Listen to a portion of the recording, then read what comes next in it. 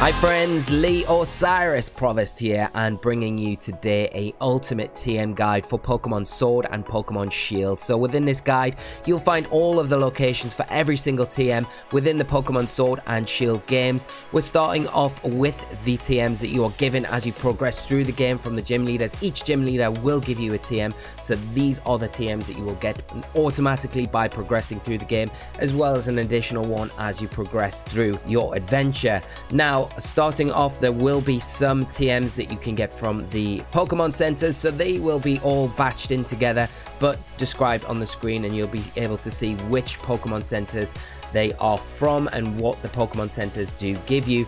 As well as this, all of the TMs are down in the description below with a timestamp next to them. So if there's a specific TM that you are looking for, make sure to click down on the timestamp. It'll take you directly to that TM in the video and you should be able to find the location with no trouble at all. So hope you enjoy this guide. Please remember to leave a like on the video. It does massively help the video. It does help the channel as well. And it lets me know that you enjoy and are valuing this sort of content for me to continue doing it. So without further ado I hope you enjoy this guide. Have a great one guys and I'll see you on the other side